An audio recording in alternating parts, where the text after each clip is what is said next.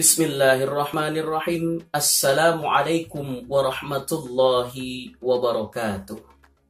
Pemirsa syafana qalbu yang dirahmati Allah Subhanahu wa taala. Salah satu ibadah puasa yang disunnahkan oleh Allah di bulan Zulhijjah adalah puasa hari Arafah. Puasa hari Arafah dilaksanakan tanggal 9 Zulhijjah, satu hari sebelum Idul Adha, 10 Zulhijjah.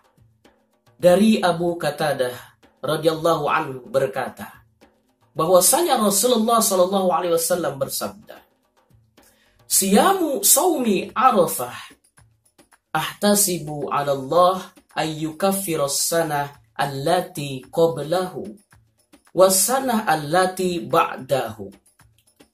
Wasiyamu sawmi ashura ahtasibu ala Allah ayukaffira sana allati qablahu.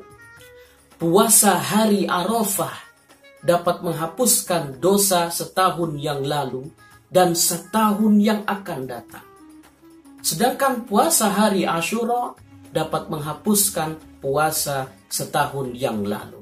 Hadis riwayat Muslim. Lantas apa saja hikmah, faidah yang dapat kita ambil dari hadis tersebut? Pertama, hadis ini menunjukkan keutamaan berpuasa di hari Arafah.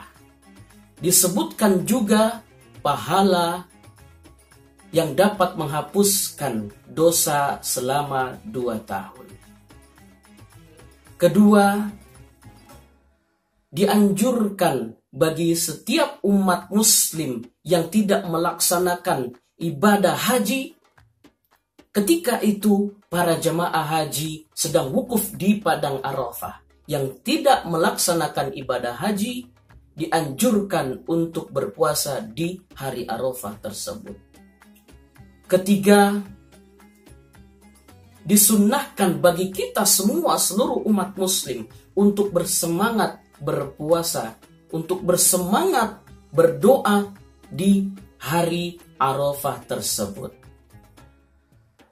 Semoga apa yang disampaikan membawa banyak kemanfaatan dan semoga yang menjalankan ibadah puasa di hari Arafah menambah keberkahan. Akhirul kalam, Assalamualaikum warahmatullahi wabarakatuh.